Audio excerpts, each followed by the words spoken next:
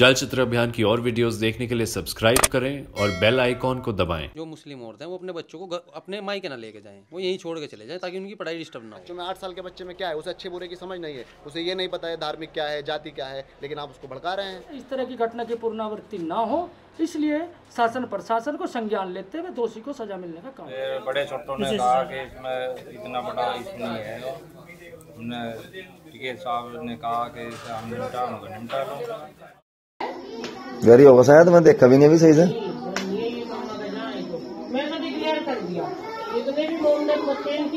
जाओ। हम्म। सही कह रहे हैं जी पढ़ाई खराब हो।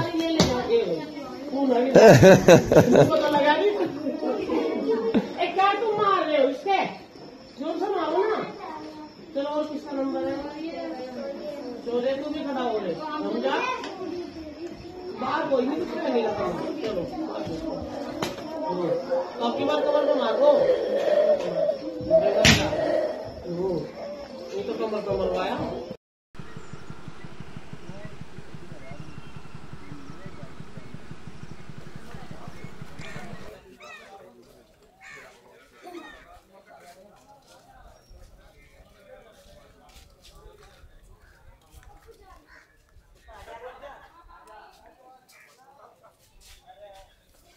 नदीम भाई क्या घटना है ये? आप आप आप बता रहे हैं कि आप उस वक्त थे स्कूल में और वो वीडियो भी आपने बनाई या किसी और ने? मैंने ही बनाई है ये वीडियो। ये घटना चौबीस तारीख की है नौ के दस के बीच में मॉर्निंग के टाइम की। मैं वहाँ मशीन के काम से गया था स्कूल में। मुझे नहीं पता क्या था क्या नहीं वहाँ पर क्या लीगल हो रहा है क्या अनलीगल हो रहा है।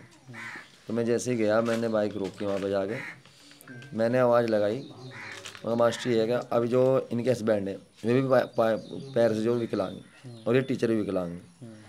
तो टीचर की आवाज़ आई, देखिए कौन है बच्चों को, ऊपर ही बुला लो। ऊपर बच्चे पढ़ रहे थे, नीचे फैमिली रहती है। तो मैं ऊपर ही चला गया।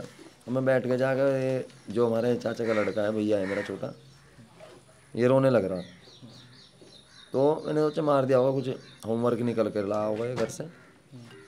उसके बाद मैं बैठ गया तो बच्चा एक एक करके आ रहा एक एक उसको मार। बच्चों से जो मार लगवा रही है टीचर तो उसको आपने रोका नहीं कुछ इस तरह से? क्योंकि कानून में ऐसा नहीं है कि मैंने इसलिए नहीं रोका कोई गलती से मेरे कुछ गलती ना हो जाए। उसमें कानून में मैं ना उल्टा मेरे पे कुछ इल्ज़ाम ना आए इसलिए मैंने कोई एक्शन नहीं लिया। उनकी जो लैंग्वेज थी मतलब कोई डर या कोई खौफ नहीं था उनके अंदर कि मैंने गलती करी है उन्होंने बोला, यहाँ का यही रूल है। जो तुम्हें करना करो, जहाँ जाना जाओ।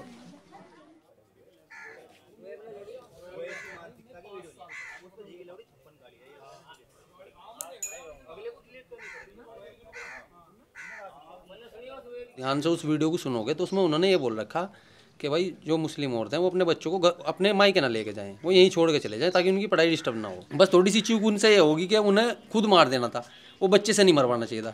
क्योंकि देखो, किसी का भी बच्चा होगा माँ बाप अगर इस चीज़ को देखेंगे तो उनके दिल को ठेस पहुँचेगी। यह थोड़ी सी बात थोड़ी गलत थी, लेकिन बाकी उनका आज तक का कोई भी रिकॉर्ड नहीं है, बीस साल हो गए उन्हें पढ़ाते हुए।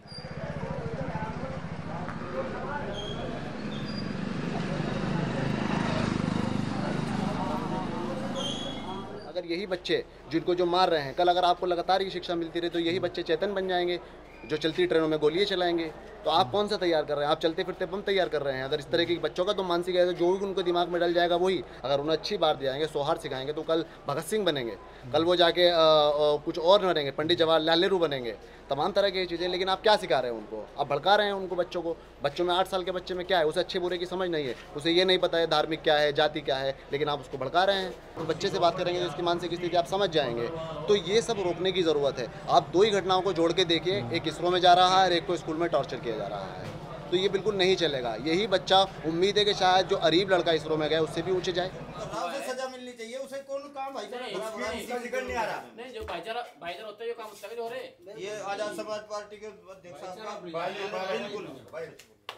जिस तरह की ये घटना हुई मैं इसकी पूर्ण रूप से निंदा करता हूँ। समाज में सभी को पूर्ण अधिकार होना चाहिए। इस तरह से भेदभाव की तरह बच्चे को जो मैडम ने किया है मैंने वीडियो देखी है वो बहुत गलत है। हमारा संदेश तो है इस तरह की घटना की पुनरावृत्ति ना हो इसलिए शासन प्रशासन को संज्ञान लेते हुए दोषी को सजा मिलने का काम है।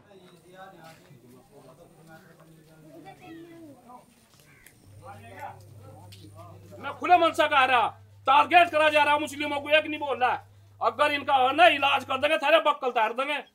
ये नहीं चलने का कि गाँव खुब्बा बुरकू जो हो ना वो बना दो सन दो हज़ार तेरह चौबीस का कॉल कार्ड बना दो। ये बिल्कुल नहीं होने का। भाई रोटी सेकनी, रसोई तैयार कर रहे, कहीं और देख लो पक्ष और विपक्ष दोनों। नहीं चलने का क्या? ये ये बच्चा भी हमारा है, वो भी हमारी बहन है। बैठ कर हमने इनका समझौता करा दिया है कोई बवाल नहीं, कोई और मैटर देख लो।